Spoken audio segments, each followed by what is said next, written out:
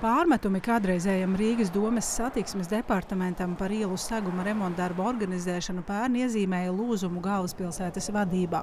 Pretēju viedokļu dēļ tās sašķēlās daļai koalīcijas nonākot opozīcijā. Izskanējušās aizdomas par iespējami nesaimniecisku rīcību un iespējamu izšķērdēšanu sāka vērtēt arī korupcijas novēršanas un apkarošanas birojas. Gada izskaņā Knaba Rīgas vadība informēja, ka resoriskajā pārbaudē nav konstatējis pārkāpumus, tāpēc kriminālu procesu neuzsāks. Rīgas izpildirektoram ir iespēja pārsūdzēt Knabu lēmumu, taču viņš to nedarīs. Es esmu saņēmis juridiskās pārvaldes atzinumu par to, ka juridiskā pārvalde ņemot vērā šos argumentus, kas ir šai lēmumā, neredz par liederīgu šo lēmumu pārsūdzēt. Bet neskatoties uz to, visās pārbaudēs ir konstatēti trūkumi. Tā ir arī man kā izpilddirektora prioritāte, sekot tam, lai šie trūkumi tiktu novērsti. Konstatētie trūkumi saistīti ar iekšējās kontroles sistēmu, informācijas apriti, līgumvadības sistēmu, kā arī līgumsodu piemērošanas veidiem. Nepilnības jānovērš līdz 29. februārim. To sola uzraudzīt arī pilsētas politiskā vadība. Tā vienlaikus pārmet bijušajiem koalīcijas partneriem no partijas progresīvie gan Rīgas domas reputācijas graušanu, gan arī skandālu dēļ izpalikušos ielu remontdarbus. No 60 plānotiem objektiem darbi esot notikuši vien sešos gados. Bija ļoti, ļoti, nu, tādi, ļoti spēcīgi apvainojumi par to, ka ir pārkāpts likums, ka ir notikusi izšķērdēšana, tika minētas milzīgas summas.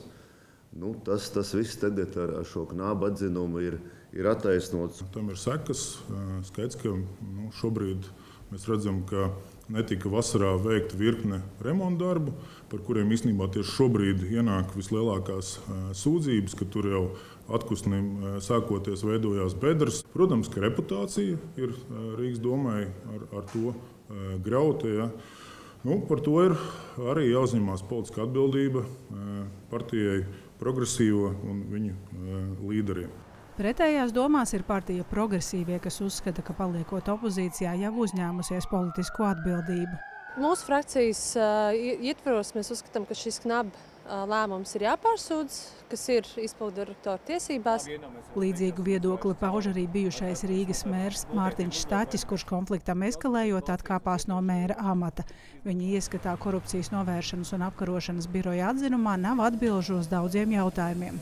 Es domāju, ka daudz pamanīja. Gan nesaimniecības darbību, gan iespējamu izšķērdēšanu. To pamanīja gan es, to pamanīja izpildu direktors, kurš uh, tālāk arī uzsākt šo izmeklēšanas veikšanu. Es uzskatu, ka pareizākais uh, lēmums šobrīd būtu šo pārsūdzēt prokuratūrā un to turpināt, kamēr atbildes tiek sniegts.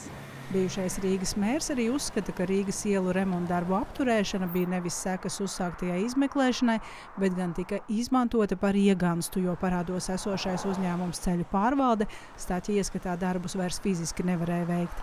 Zandozo Baloda Gaļina Solodovņika un Aigars Kovaļevskis Latvijas televīzija.